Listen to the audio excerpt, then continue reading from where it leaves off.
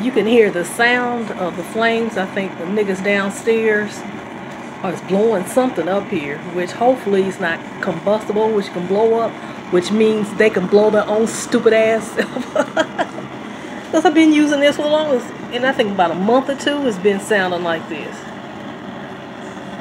It's been sounding like this before then.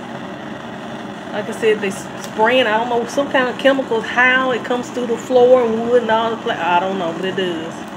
Niggas downstairs.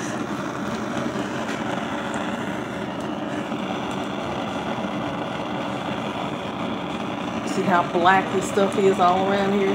Come in, somebody comes in here and, and put black stuff around each one of, of these eyes. And of course, it's to harm Brenda because they so obsessed and hurting Brenda. Brenda, Brenda, Brenda.